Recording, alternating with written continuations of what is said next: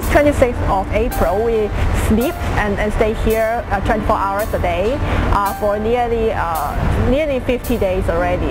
But why we want to uh, we, we will stay here because we have to protect and preserve uh, the Queen's Pier statue.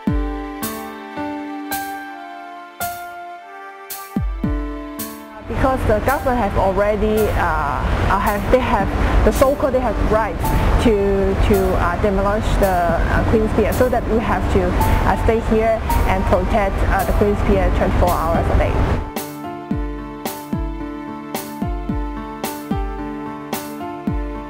And this uh, preservation of Star Ferry and uh, Queen's Pier campaign could be a chance for Hong Kong people to think more about the identity and, and of, Hong, of being a Hong Kong people and also the uh, uh, what is the meaning of being a citizen uh, in a colony, uh, what's the impact for us. Uh, it is so-called we have hand over, uh, and, it seems that the Hong Kong people can can be more uh, autonom autonomous towards the uh, social policy. But actually, uh, for these 10 years, uh, we didn't feel that our auto autonomy has been greater or improved.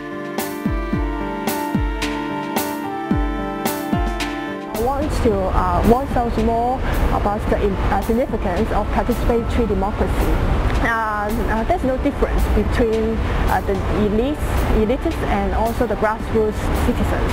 Uh, the democracy should be the same. They have the same uh, privilege and importance.